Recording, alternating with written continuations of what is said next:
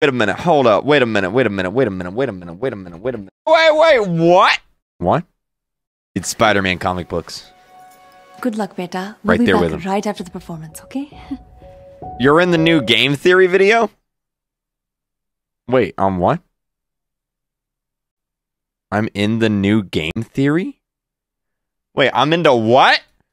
Wait, wait, wait, wait, wait, wait, wait, wait, wait, wait, wait, wait, what? I'm in the wait, MatPat knows who I am? Wait, hold up. Wait a minute. Hold up. Wait a minute. Wait a minute. Wait a minute. Wait a minute. Wait a minute. Wait a minute. Wait a minute. Wait a minute. Wait a minute. Wait a minute. Wait a minute. Wait a minute. Wait a minute. What? You don't follow me. Wait, wait, wait. Hold up. Wait a minute. Wait, wait, wait. Go to go to the thing. I'm in the new game theory video. Wait, what game theory video? Which one? Wait, which game theory video? This one's seven days old. Oh, this one. This one?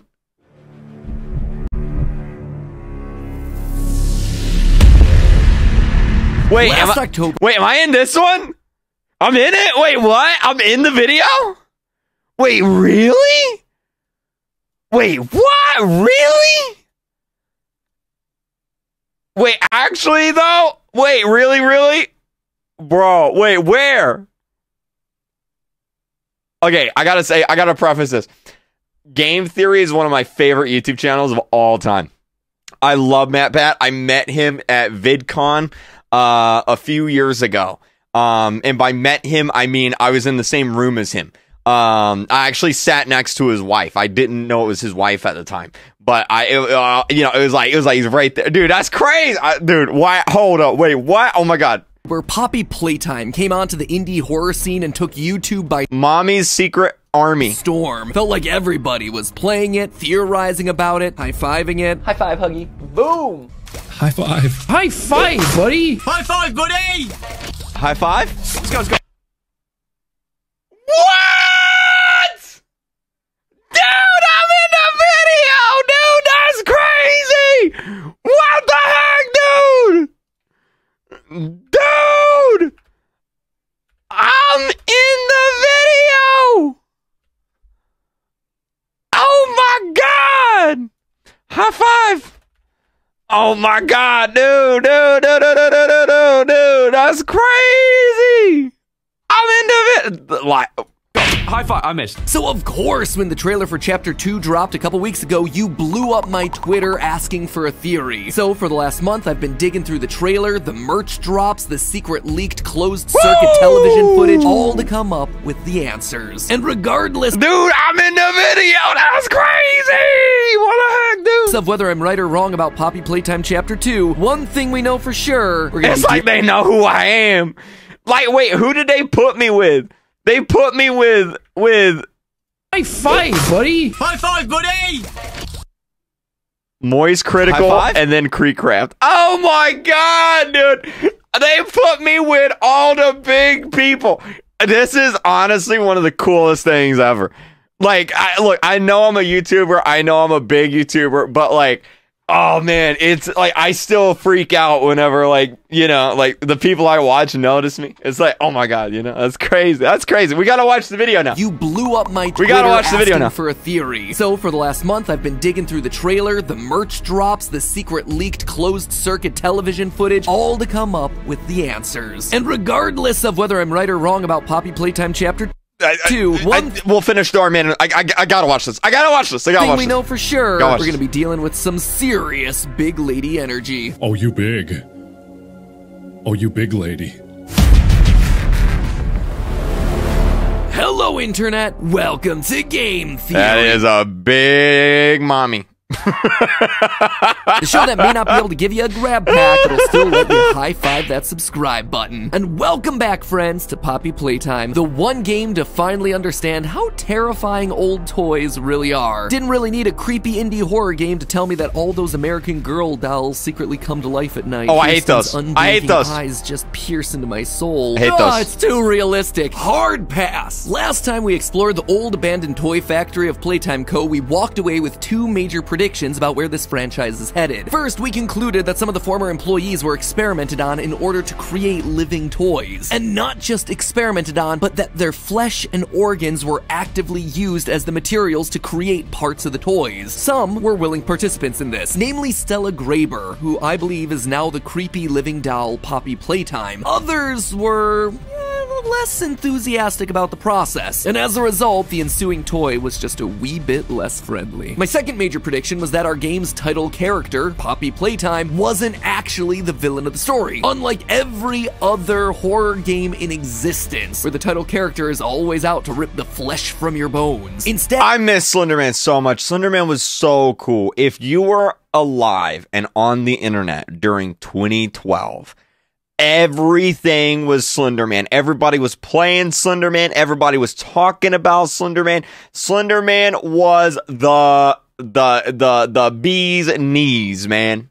Here in Poppy Playtime, Stella's human desire to make children happy and live forever meant that now reborn as a toy, she just wanted to escape the factory to fulfill those dreams. Because of this, I guess that she would serve as our guide throughout the facility as we tried to solve the mystery of the factory's missing employees. And hey, if you listen to the Chapter 2 trailer, it seems like we weren't that far off. Terrible things have happened. Where do I even begin? You're in grave danger. She's watching your every move. So you better be careful. Mommy doesn't like guests. That's Poppy's voice, definitely warning us of what's ahead. So I'm gonna personally consider this one a win. Look, I, I just gotta take what wins I can. I can't believe I'm in the Few and far video. between. So now that we've proven Roblox ourselves got to be very sued? What? Okay, hold on. We got to do. There's so much stuff going on. We're gonna watch this video, then we'll look at Roblox getting sued. Okay, hold up. clearly dialed into the storyline for Poppy Playtime. What do we think's coming down the pipeline for Chapter 2? Let's just say that Mommy Longlegs here is going to be looking much different by the end of this chapter. But to understand how, we're going to have to look a bit closer. Since she was the big reveal of the trailer, I think it's fair to start there. First and most importantly, yes, her name is officially Mommy Longlegs. I'm not even making that up to ride whatever weird trend gaming's having right now with a large, deadly women. This official name was actually revealed in, and I, I, I He's on to me. He's on to me. Oh my god, he's on to me. They're, on, they're everybody's on to me. What in the world, dude? The- it- I can't believe I'm gonna have to say this, but it was revealed in the NFTs that this game released.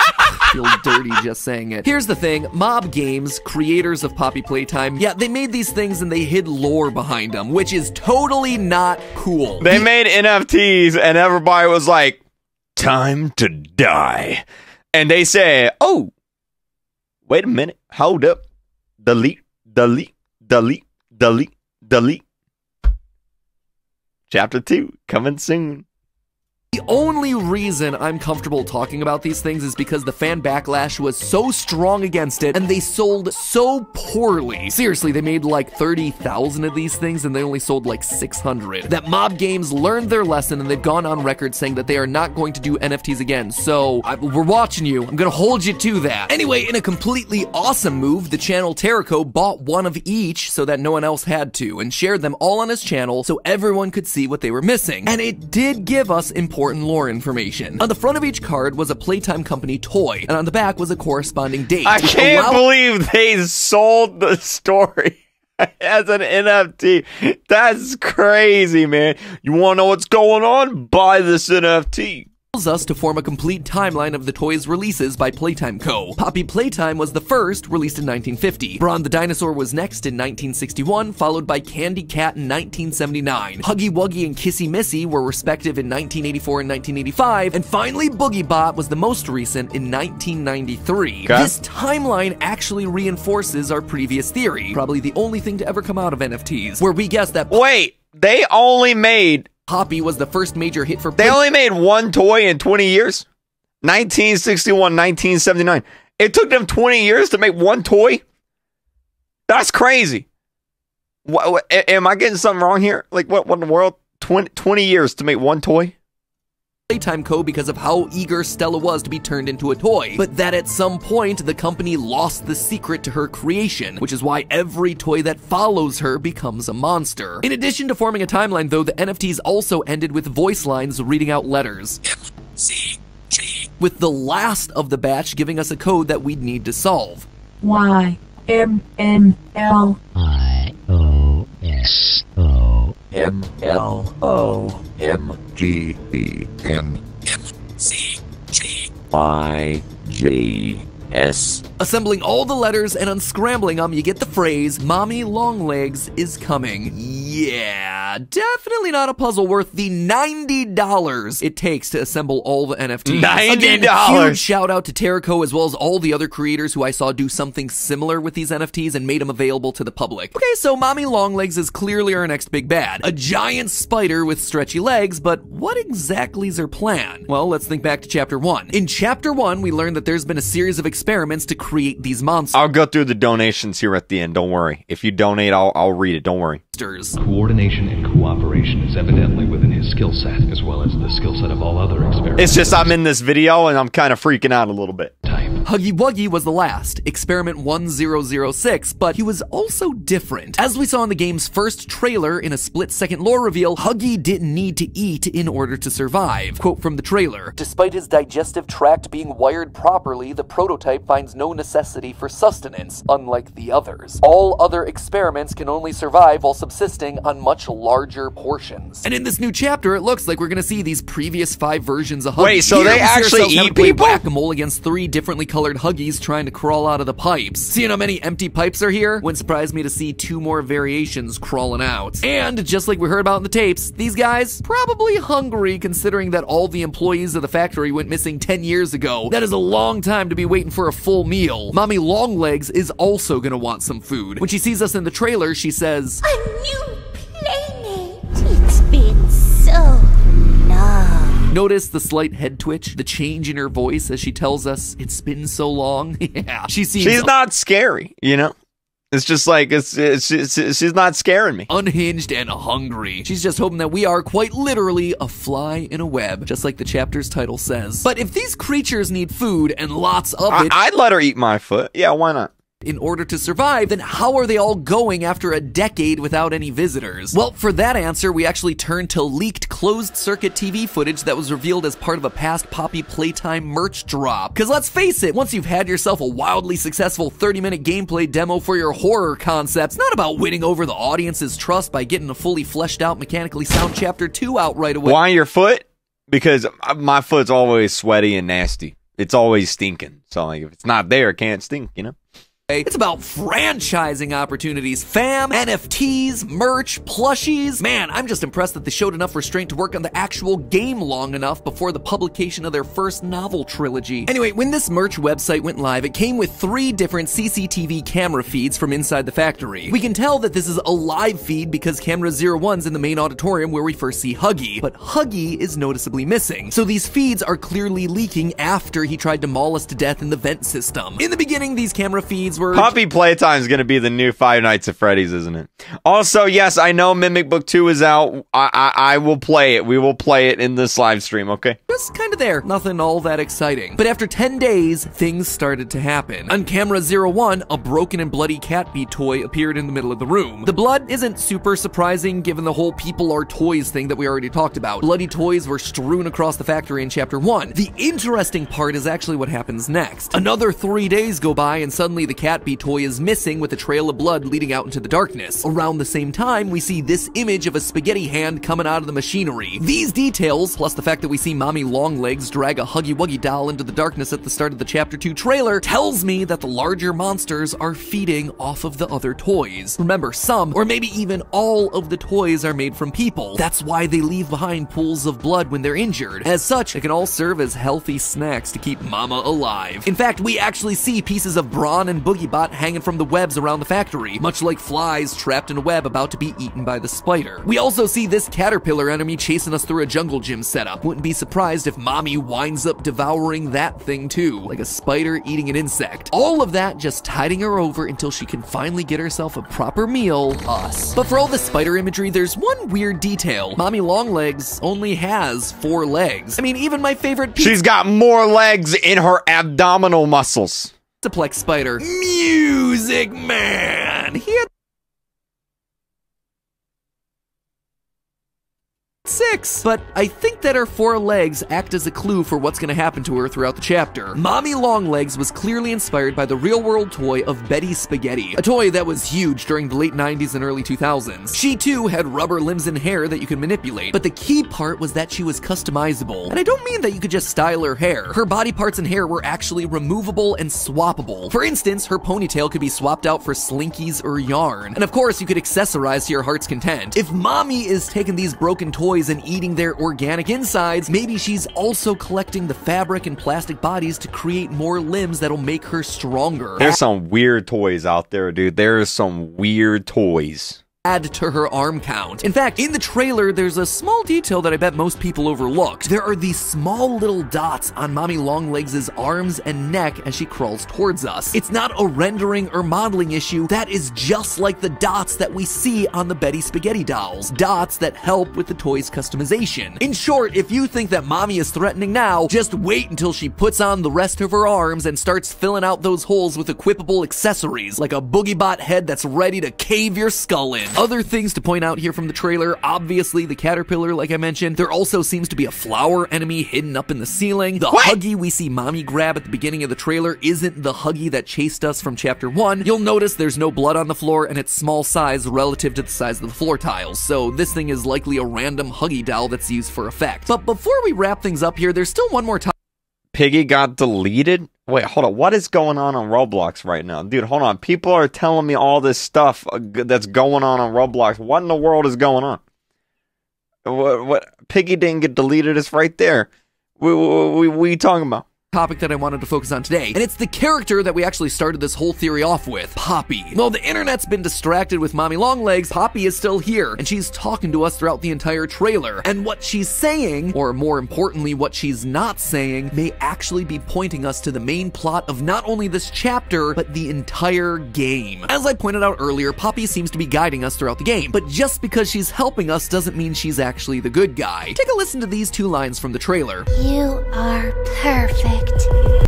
Too perfect to lose. Poppy saying, See, even she calls me perfect. I feel so good. too perfect to lose lines up with what we theorized about last time. That she's the one talking to us throughout the death screens. It's not your time to die, don't die just yet, it's too early to die. All these screens show us that Poppy wants us alive, but her reason for that seems unclear. Sure, throughout chapter 1, we got notes and death screens that seem to be focused on us saving the missing employees. There's more lives at risk than just yours and all that. But in this new trailer, there's something uneasy about Poppy's tone, something obsessive. It's like she's planning something that we aren't aware of. We theorized last time that all Poppy wanted was to be free out in the real world to bring joy to children. But what if we were only half right? Just because she wants to bring joy to children doesn't technically mean that she has to leave the factory. What if Poppy is trying to bring the factory back to life? At the very beginning of the game, we get a note telling us to come to the factory and find a poppy flower. But after finding the flower, all the literal writing on the wall tells us to not go in. Why would we get a letter? This guy's such a nerd. I love it. I love it, dude. I love it. from the employees telling us to find the flower only for them to then tell us to stay away once we actually get there. It doesn't make sense. It only makes sense if that first letter is from Poppy. Notice those spelling and grammar mistakes? That letter is from her. It was sent to us to lure us in. She wants us in this factory. She needs us in this factory. Listen again to her lines from the trailer. You are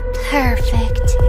Too perfect to lose. She describes us as perfect. In the death screens of chapter 1, she calls Huggy wonderful. He's good, but he's not perfect. Poppy must therefore be aware that both Huggy Wuggy and Mommy Longlegs are the failed attempts to recreate the magic of her own birth. But someone who came back to the factory despite the horror stories? Someone who came back with a good heart that wanted to help those who were Not me. trapped? That is suddenly someone that she can work with. As far as we know, Poppy's the only experiment to truly work. The only toy that managed to not turn into a monster through the toy conversion process. And if she truly wants to spread joy to all the children of the world, it would make sense for her to want to restart those experiments, to turn the factory back on, to create more living toys like herself. But it all needs to start with one pure soul. It needs to start with us. That's why she doesn't want to lose us. Not just because we can free her and remove the obstacles standing in her way, but because in her eyes, we can become the new patient zero. We can be the Ken to her Barbie. My guess guess I- I don't after want- I don't wanna be the Ken chapter after chapter of toy-related horror headed our way, in the end, Poppy is gonna turn on us. She's gonna betray us. She's gonna turn us into the next generation of toy. By winning the game, we ultimately lose. But hey, well, Mob Games wants you to invest in NFTs to unlock the lore of this game. With our sponsor today, Public, you could invest in stocks that'll give you some real value. Public is an app built to help you invest in the That's right things crazy, at the right time. I'm gonna be honest with you, investing was always really scary to me. I was raised by parents too. who taught me that you invested your money into your mattress. Literally, you hide it there. But what I've learned over the years is that you actually have to have your money working for you by What? investing in smart ways for the long term. Not That's anything so super crazy. risky That's so crazy. I will do that, MatPat. Thank you for putting me in the video. That's so cool, man.